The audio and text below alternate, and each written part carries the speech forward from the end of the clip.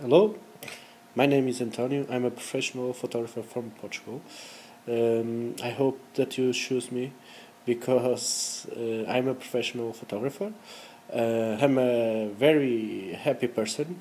Um, I like and love to travel and know new places. Um, that's all.